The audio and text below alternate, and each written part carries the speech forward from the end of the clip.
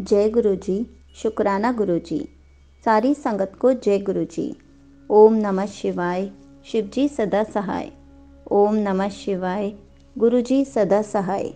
शिव पुराण, श्री रुद्र संहिता, तृतीय खंड का बारवा अध्याय। पार्वती की सेवा में रखने के लिए हिमालय का शिव को मनाना। ब्रह्मा जी बोले, हे मुनि नारद तत्पश्चात हिमालय अपनी पुत्री पार्वती को साथ लेकर शिवजी के पास गए।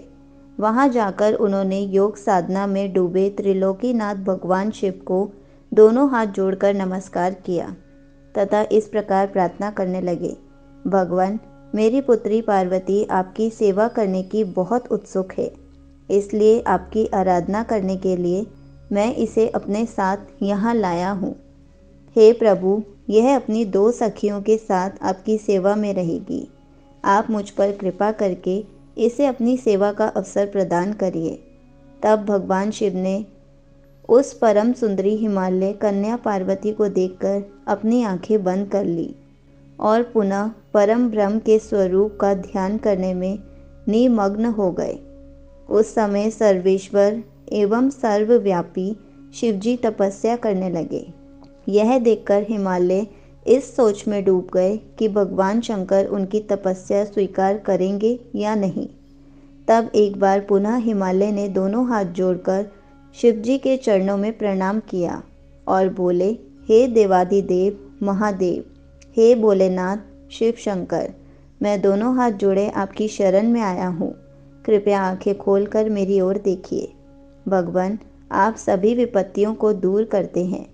हे भक्त वत्सल, मैं रोज़ अपनी पुत्री के साथ आपके दर्शनों के लिए यहाँ आऊँगा। कृपया मुझे आज्ञा प्रदान कीजिए। हिमालय के वचनों को सुनकर त्रिलोकीनाथ भगवान शिव ने अपने नेत्र खोल दिए और बोले, हे गिरिराज हिमालय, आप अपनी कन्या को घर पर ही छोड़कर मेरे दर्शनों को आ सकते हैं। नहीं तो आपको मेरा भी दर्शन नहीं होगा।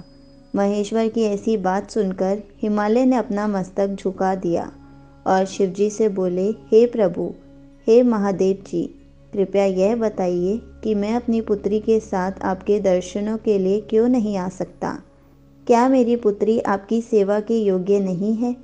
फिर इसे लेकर आने का कारण मुझे समझ में नहीं आता। हिमालय की बात सुनकर शिवजी हंसने लगे और बोले, हे गिरिराज, आपकी पुत्री सुंदर चंद्रमुखी और अनेक शुभ लक्षणों से संपन्न है। इसलिए आपको इसे मेरे पास नहीं लाना चाहिए, क्योंकि विद्वानों ने नारी को माया रूपिणी कहा है। युवतियाँ ही तपस्वियों की तपस्या में विघ्न डालती हैं। मैं योगी हूँ, सदैव तपस्या में लीन रहता हूँ और माया मोह से दूर रहता हूँ। इसलिए मुझे स्त्री से दूर ही रहना चाहिए। हे हिमालय आप धर्म के ज्ञानी और वेदों की रीतियाँ जानते हैं। स्त्री की निकटता से मन में विषय वासना उत्पन्न हो जाती है और वैराग्य नष्ट हो जाता है, जिससे तपस्वी और योगी का ध्यान नष्ट हो जाता है। इसलिए तपस्वी को स्त्रियों का साथ नहीं करना चाहिए। इस प्रकार कहकर भगवान शिव चुप हो गए। हिमालय शिव जी के ऐसे वचनों को सुनकर चकित और व्याकुल हो गए। उन्हें चुप देखकर पार्वती देवी असमंजस में पड़ गई। संगत जी, यहीं पर शिवपुराण श्री रुद्र संहिता तृतीय खंड का बारवा अध्याय समाप्त होता है। जय गुरु जी शुक्राना गुरु जी